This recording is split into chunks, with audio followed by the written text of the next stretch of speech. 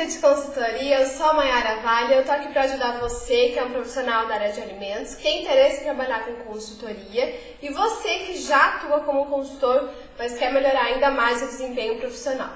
Hoje nós vamos falar sobre as formas de atuação de um consultor de alimentos e as vantagens de algumas delas. Então vem comigo.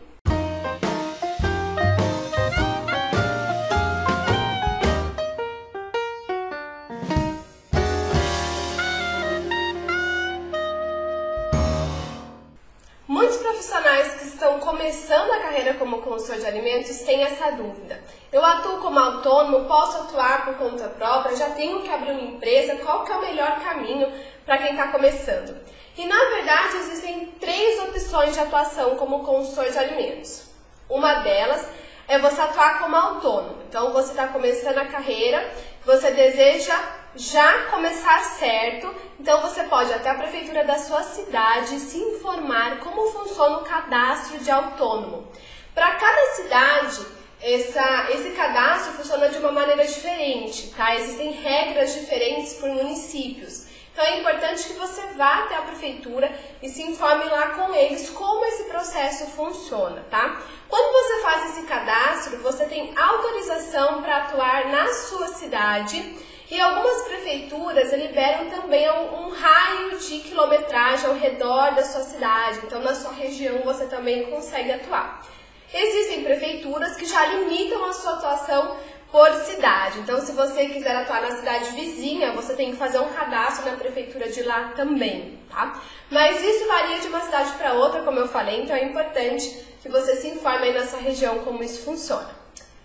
Segunda maneira de atuar como consultor de alimentos é abrindo a sua empresa de consultoria. E para que você faça isso, você precisa que um contador te ajude nesse sentido, para você entender qual a melhor modalidade de empresa que é a mais interessante né, para você que está começando ou para você que já atua há algum tempo, mas decidiu então abrir a sua empresa também qual faturamento que você pretende ter, qual capital que você quer investir para começar. Então tudo isso varia de acordo, né, com o que é mais interessante aí para você e também de acordo com as modalidades que existem. Então é importante que um contador te ajude nesse momento.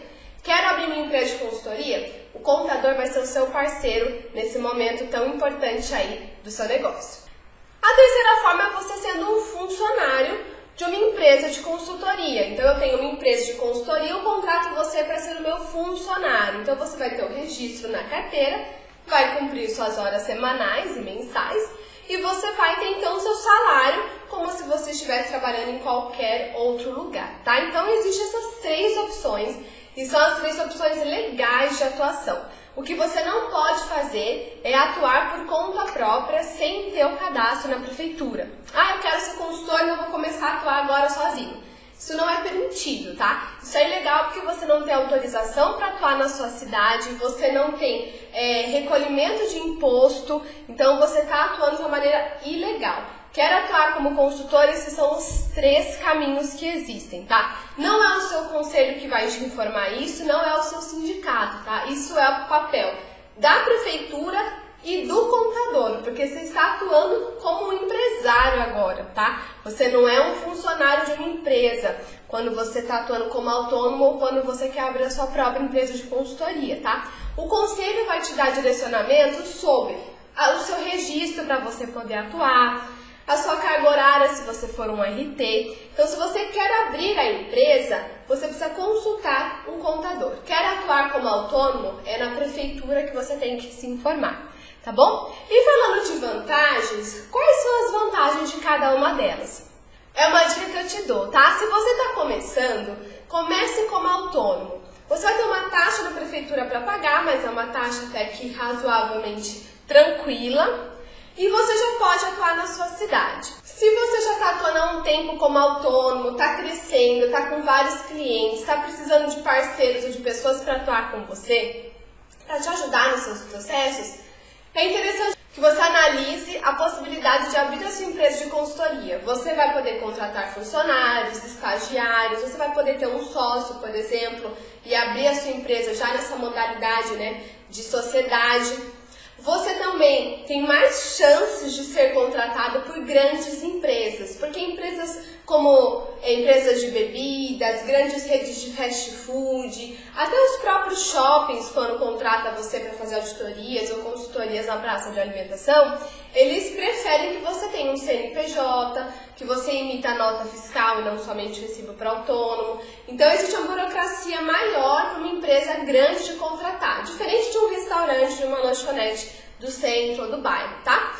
Então, para que você tenha maiores chances de ser contratado por grandes empresas, você ter uma empresa facilita bastante, tá? E é claro que se você está assistindo esse vídeo, eu tenho quase 100% de certeza que você não quer ser somente funcionário de uma empresa de consultoria, você almeja mais para sua carreira como consultor.